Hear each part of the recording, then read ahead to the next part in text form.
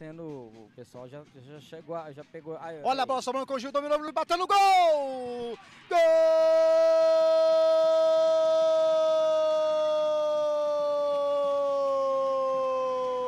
Do Torino!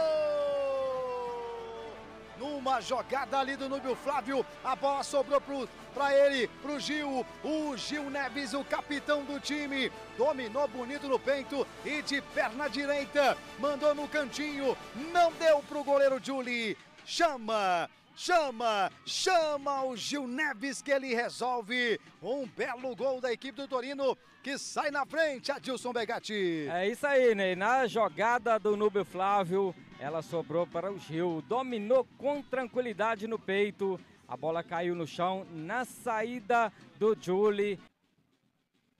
E ele mesmo já faz a cobrança. A bola vai na área, vai passando por todo mundo, sobrou. Olha o Júlio pro gol! Gol!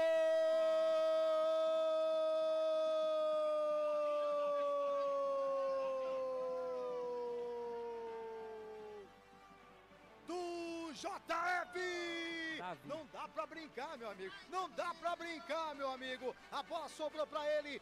Davi, Davi, Davi é o nome dele. Meu amigo, chama, chama, chama o Davi que ele resolve. Tá tudo igual, tá tudo igual, Adilson Begatti. É, Ney, a gente já vinha falando, né?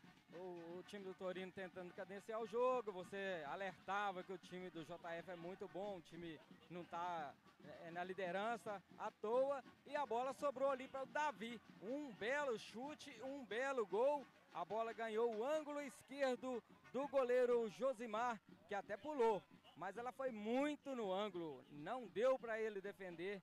E a bola foi pro fundo da rede, levantando a torcida do JF, Ney.